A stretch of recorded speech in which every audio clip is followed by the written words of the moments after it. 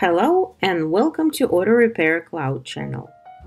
In this video, you will learn how to use our new feature OBD2 Diagnostic and specifically how to set it up and use it in repair.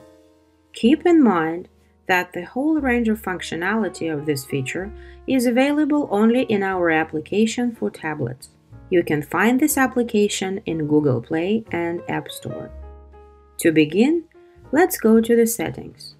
Select Configuration, then select Technical and OBD2. To work with OBD2 Diagnostic, you will need a special adapter to connect to the car and to display the results of the diagnostics on your device. Below is the list of the recommended adapters. If you are using an Android device, then in order to connect the adapter to the tablet, you will need to turn on the Bluetooth, select the adapter from the list of the detected devices, and if needed, to enter the password provided with the documentation at the time of purchase. Now, your tablet and the adapter are paired. If you're using an iOS device, simply turn on the Bluetooth. Now back to the attachment. Click the Search OBD Devices button. Activate the default switch located in front of the required adapter. Wait for the message indicating the successful connection. Using the graph below, you can set up the templates for OBD2 diagnostics in Auto Repair Cloud. You are now ready to perform the diagnostics.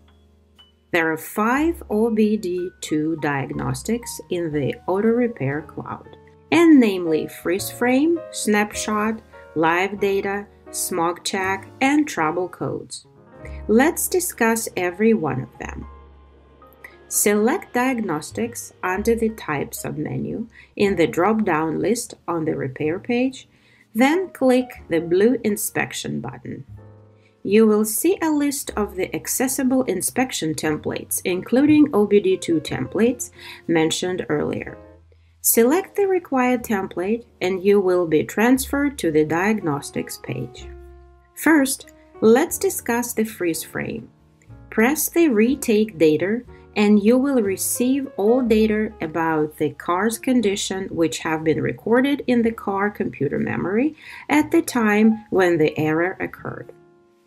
For example, an error in the performance of the car's system occurred and the check engine light was activated on the dashboard.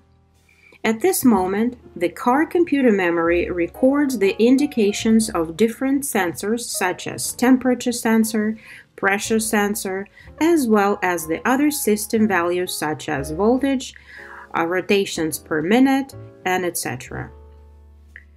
Freeze frame will display the same data until the malfunction is fixed and the error will be removed with the help of the attachment.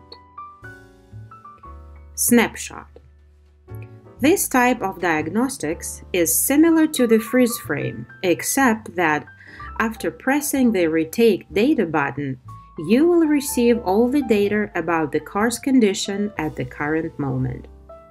Every time you press the Retake Data button, you will receive system measurements taken at the moment of pressing the button. Live Data Select up to five system measurements you are interested in, press the Measure button and watch how they change in the graph in real time. You can start the recording of this graph by pressing the record button and save it by stopping the recording and by pressing the save button. Click on a dot within the graph to see the measurements recorded at the required moment of time. During the recording, you can take a snapshot in order to receive all measurements of the current moment. To do this, press the corresponding button. To watch, save the recording, click on the green space in the graph, and the snapshot page with all the measurements will open up. Smog check.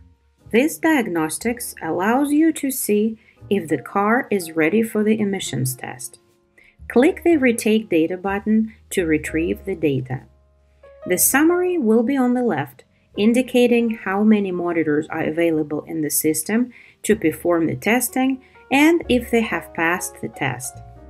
At the right side of the chart, you can see the entire list of components, their availability in the system, and their readiness.